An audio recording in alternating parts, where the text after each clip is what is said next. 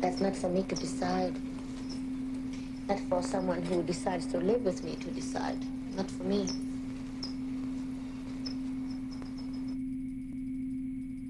To compromise? What is compromising? Compromising for what? Compromising for what reason? To compromise? For what? To compromise. What is compromise?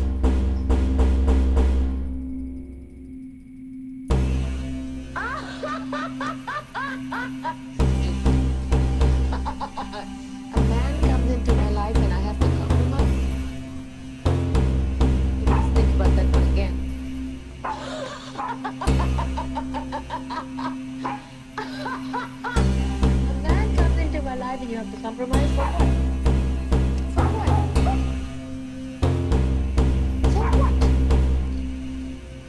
Relationship is a relationship that has to be earned, not to compromise for.